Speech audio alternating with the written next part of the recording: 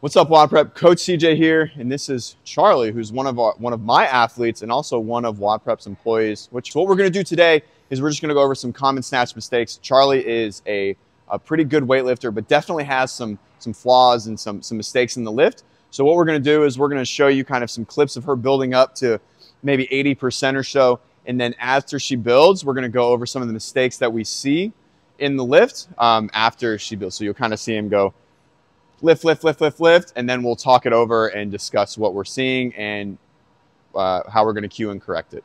All right, so now you'll see Charleh just take a lift, and then you'll see it kind of flash forward a few, and then we'll go from there. Go ahead, Charleh.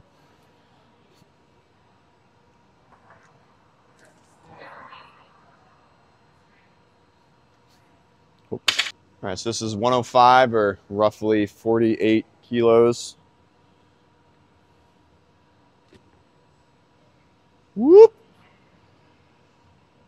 Good. Cool.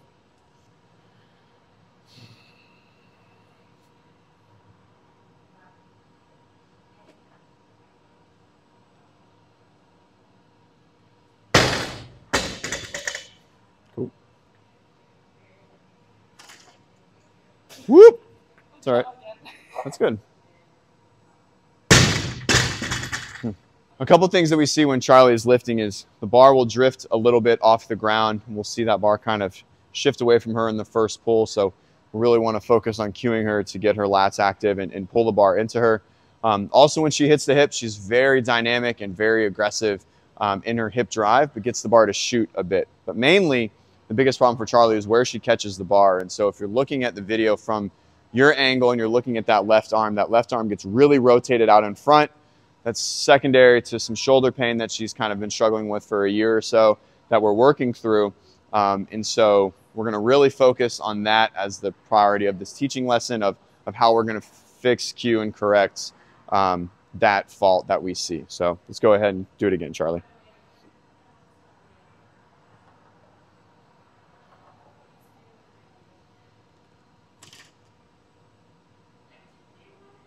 Good. All right, so that lift for Charleh was much better, right? Much more balanced, but you'll see something that she does a lot. Because she doesn't have a lot of balance in the bottom, there's never really a pause. She's always dynamic, and then to even get out of the hole, she kind of bounces up. So what we're gonna do here is we're gonna really fo force her to pause in the bottom, spend some time there before she stands in hopes of getting more comfortable in the bottom without having to be dynamic and moving all the time. So Charleh, you're gonna snatch again. I want you have a three second pause in the bottom, and then when you stand, no bounce, okay? So catch it as low as you can, get that left arm back, and really fight to stay extended in the bottom, okay? Give me a nice pause. Pause. Hold. Good, stand. There, much better. Good. Good. So she tried to stand early. I caught her. But, um, you know, we saw a lot more control. Even as she stood, there was less um, oscillation of the bar moving forward. That left arm still does come forward. I don't know if you can see it from that angle, but it's just a smidge.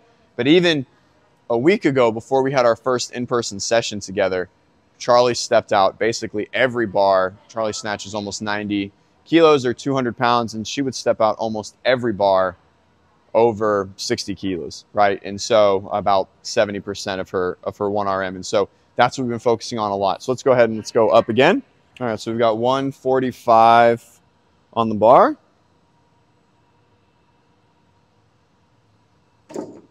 Push, whoop, hold it.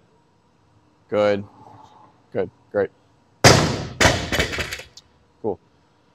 All right. So as you can see, Charleh has no problem getting the bar to have vertical drive and getting height on the bar. The challenging points for her are creating a lot of stability in the catch. As you can see, when she caught that bar, she kind of popped down, was very wobbly in the bottom. And so for her, again, the biggest goal is, is like improving a very sound, and I call it like a freeze frame catch. So what we want to focus on as, as athletes in general, when we snatch, jerk, clean, whatever, we want it to basically be when we catch that bar is a full stop. Okay, so we don't want to be moving around a ton when we catch that bar. We want to be able to just create this like picturesque, frozen view of how we receive the bar. That's going to show us our balance. And we do that by just spending time in the catch positions, okay? A lot of us worry about getting a lot of drive on the bar when we really need to worry about what that receiving position actually looks like. And so for Charleh, that's what our main focus is as her training and her programming look like is owning the catch, worrying less about the pull and things. It's still important, but for her specifically, it's the catch. Let's do it one more time.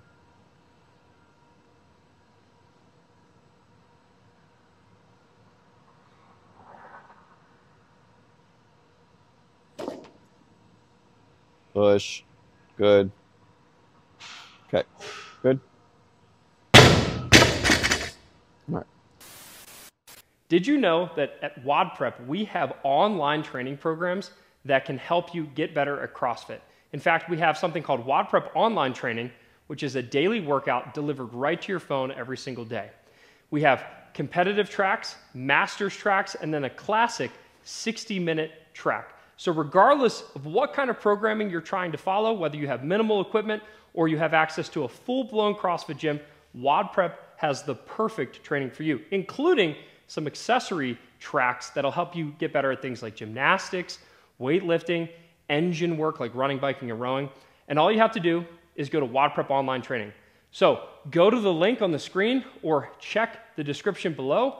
Join WOD Prep Online Training. It's one of the most affordable training programs on the market today, and it's absolutely loaded with value. We have thousands of testimonials from customers of all ages and abilities hitting all sorts of PRs. So go join WOD Prep Online Training today, and you'll get a special deal if you click the link on this video. So if you guys can't see, so Charleh catches with their thumbs hooked. Probably not something we're going to try and change now, but it might be something um, that we change later. When you maintain the hook grip in your catch position, it reduces your, your shoulder range of motion, right? Because you have more restriction on the elbow and the forearm, which is just naturally going to pull the bar forward. So if we see that Charleh in her training is continuing to struggle with losing the bar forward, we're going to try to instill maybe letting go of that hook grip, and that's going to give us a more sound overhead position.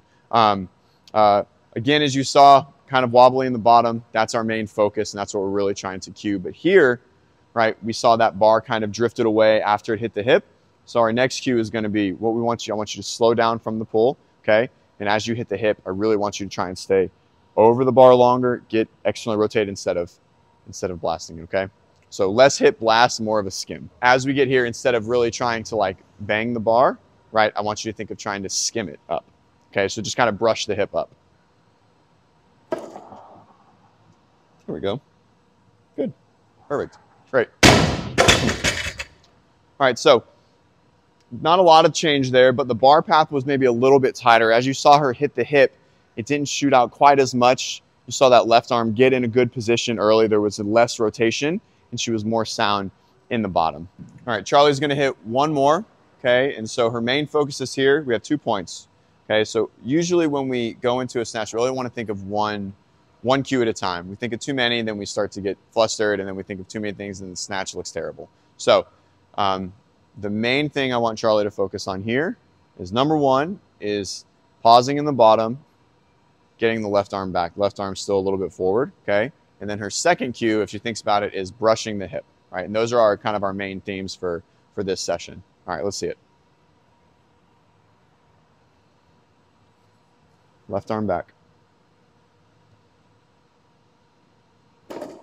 Push back. So not a bad thing. It's okay to miss on camera. It's not fun, but it's okay. So too many thoughts were going in. You could say the bar hit her hip and it just didn't go anywhere, right? So that's okay. That's part of the game. That's when a coach has to make the audible and, and make the adjustment. So now I just want you to think of left arm back. That's it. You can slap the shit out of it on your hip if you want to, okay? Pull hard, left arm back, all right?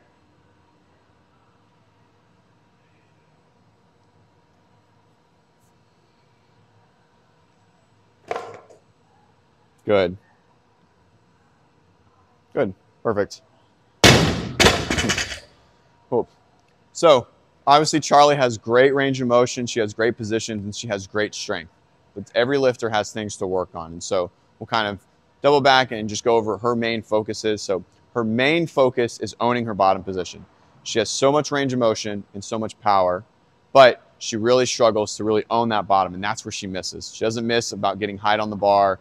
Um, it's about getting the bar in the right position and stabilizing it in the bottom. So her training is really focused there. That's where it all is. So we do a lot of snatch drops, snatch balances, tempo overhead squatting, narrow grip work, things that are going to really reinforce that bottom position and being comfortable there.